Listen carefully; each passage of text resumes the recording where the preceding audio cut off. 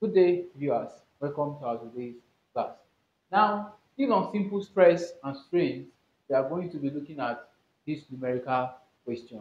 Question number five, it says a steel bar is 900 millimeter. That is the length, overall length of the steel bar is 900 millimeter long. It has two ends, of course. The two ends are 40 millimeter and 30 millimeter in diameter. And the length of each rod is 200 millimeter. Now, the middle portion of the bar is 15 millimeter in diameter and 50, 500, sorry, and 500 millimeter long. 500 uh, long. Now, if the bar is subjected to an axial load of 15 kilonewton, we are asked to find the total elongation. We have to find the total elongation. So first thing first, I'm going to be representing this question in a diagram form here. So I have a rod. I have a rod. Now this rod is said to have two ends. So I have one end here.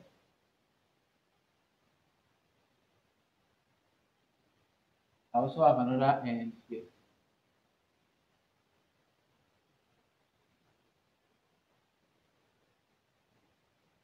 Now, we are told that the overall length, of course, okay, the steel bar is 900 millimeter long. That is the overall length of this steel bar is 900 millimeter. So I have the overall length of this steel bar to be 900 millimeter. I have 900. So this is what I have. So next, what what does, does it say? It says its two ends are 40 millimeter and 30 millimeter in diameter. So here, the diameter here is 40. We have 40 millimeter diameter here, of course. And here also, we have 30 millimeter diameter. Is what we have. So next, he said the length of the, each of the rod is 200 millimeter. That's the end length of each rod of the two ends is 200 millimeter. So I have here to be 200 millimeter first, and here also the 200 here to be 200 millimeter. This is what I have. So next, the middle portion of the bar, which is from this point to this point, is 500 millimeter long. So I have here to be 500 millimeter. What I have. And and what if the bar is subjected subjected okay the middle portion of the bar is 15 millimeter in diameter and 500 millimeter long i've expressed that as 500 millimeter long but I have 15 millimeter diameter. I'm just going to write 15 millimeter diameter here. Now, if this bar is subjected to an axial load of 15 kilonewton, we are asked to find the total elongation. Now I'm going to be bringing out my parameters for this particular question. Before I do that, I can decide to name each part of this rod. Here I can call here section 1, can make here to be my section 2 and here my section 3. Now, the length of section 1 is what? Of course, it's 20 milli, it's 200 millimeter. The length of section 1 is 200 millimeter from the question. 200 millimeter. So I have length subscript 1 to be equal to 200 millimeter. What do I have next from the question? I have the diameter of my section 1. The diameter of my section 1 is nothing but 40 millimeter. 40 millimeter.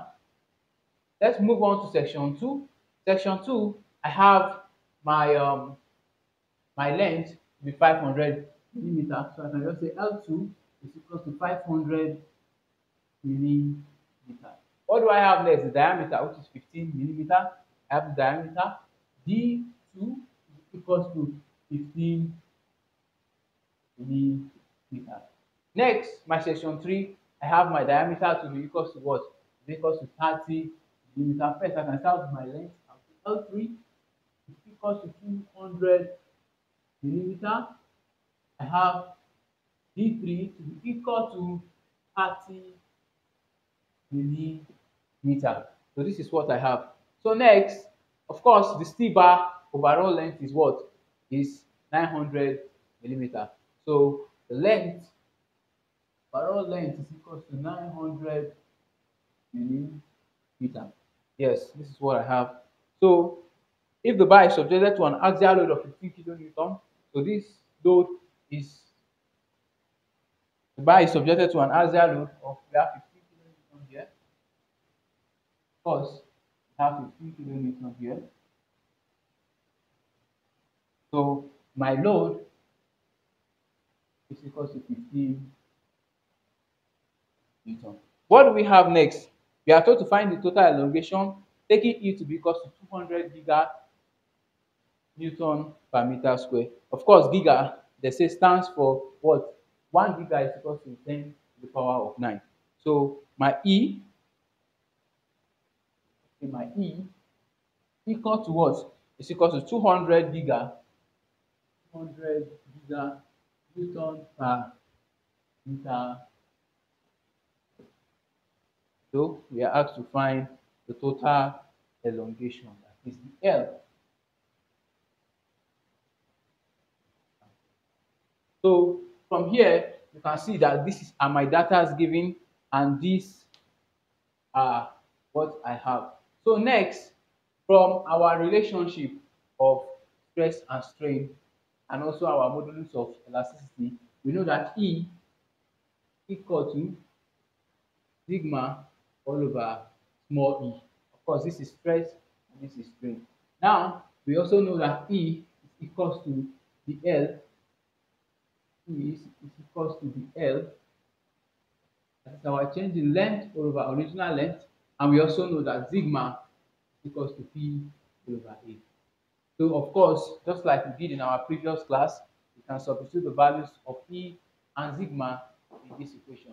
To do that, we're going to have E to be equal to, we have sigma, which is P all over A, all over E, which is what? Our change in length all over our original length. This will be nothing but P, this will be nothing but P all over A. Of course, if we take the inverse of this, we're going to have L upward and what? Our change in L downward. So E is equal to PL all over A PL. So from here, we can make our change in length the subject of this relation. It implies that so what we have here is what? E equals to what? Equals to PL all over A change in length. Because multiplying, it implies that we'll have PL equals to EA by change in length. We divide both sides by EA. What do we have? Have our change in length to be equal to PL over EA. That's our change in length equals to PL over EA. Now this is what we have. Now, don't forget, for this, for this bar, we have three sections. So this formula can be written as our change in length for our first section, of course, we know that P, which is our force, is constant. So P remains the same. Our length will be for section 1, which is 1. We have E, which is constant also, but we are going to have A of 1. That is the area, since we are giving diameters for all the sections to be different, of course, we know that the area is also going to be different. So Having known this, we also know that we are going to have the change in length for the second section to be equal to P L2 all over what? All over E A2. And similarly, for the last section, our change in length will be equal to P L3 all over E A3. So this is what we have. So next, what are we going to be doing? From here, we are going to be we are going to be converting our units which are in millimeter to meter. So now if we do that, of course we are going to be dividing them by 1000. If we divide 200 by 1000, it will be equal to 0 0.2 meter. If we divide 40 by 1000, we're going to have 0 0.04 we divide 500 by 1000, we're going to have 0 0.5 meter. Similarly, for 15, what are we going to have? We are going to have 0 0.015 meter. 0 0.015 meter. For 200, we are going to have 0 0.2 meter. For 30, we are going to have 0 0.03 meter. Now, this is what we have. So now, we go over to calculating our area. We're going over to calculating our area. Now, to calculate area, we know that A, area Now we are going to start with section 1 of this bar. Calculate the area of section 1 of this bar. We are going to area A equal to pi by 4 into what? Into our diameter. But since we are dealing with this section first, we'll be using the diameter of this section. Of course, which is D1 equal to 0 0.04. So we have 0 0.04 square. Now if we solve this, what are we going to have? We're going to be having 0 0.001256 meters square. 0 0.001256 meter square. Now this is our area for the first section. Now let's move over to the next section. We have A2 to be equal to what? Pi by 4 into 0 point what? Now for the second section, we have 15 millimeter. Of course, we have converted it towards 0.015 meter. So we have 0 0.0, we have 0.015 meter. 0.015. Course, we are squaring it. Now, if we solve this, it will give us nothing but 0 0.0001767. We have 0 0.0001767 so this is what we have. So next, we are going to be looking for the area of the third section. Now I'm going to be wiping this side of the board. I'm going to, for the third section, A3 will be equal to what? It will be equal to pi by 4 into, I have what? What do I have here?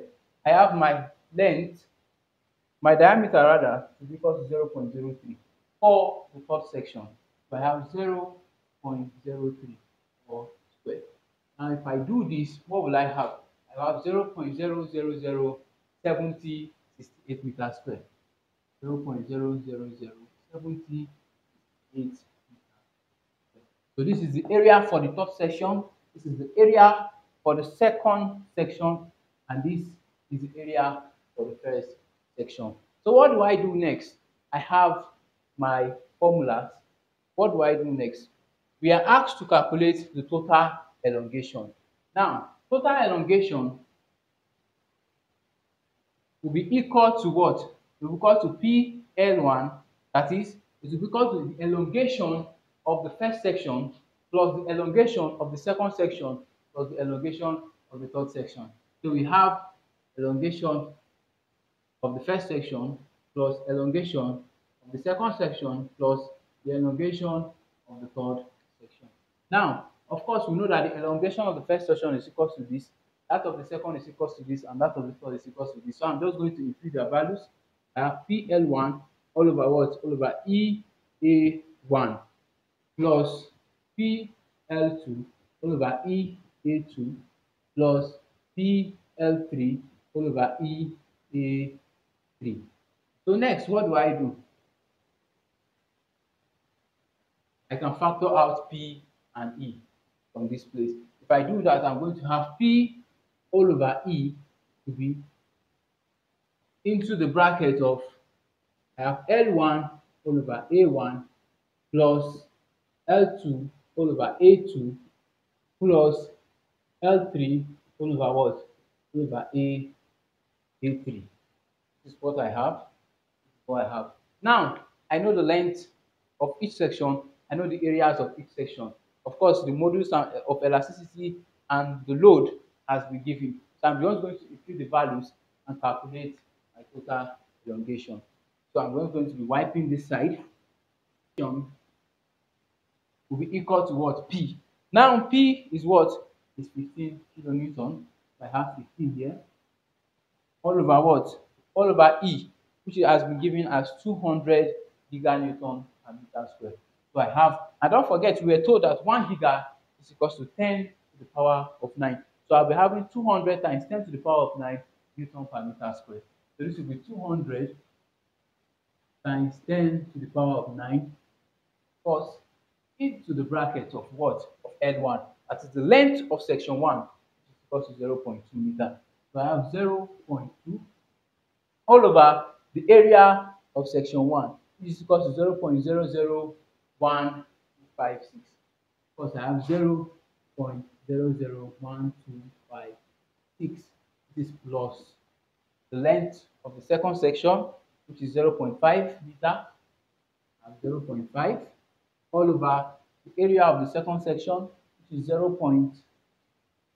0.000176 1767 plus lastly the length of the third section which is 0.2 meter have 0.2 all over the area of the top section which is 0. Point what 0 0.000 7068 close brackets. Now this is what I have. I can wipe this please. This is what I have. Now if you solve this, what will you get as your answer? If you solve this, you're going to have nothing but 0 0.0002454 meter squared. So if I solve this, I'm going to be having my elongation to be what? To be 0 0.0002454.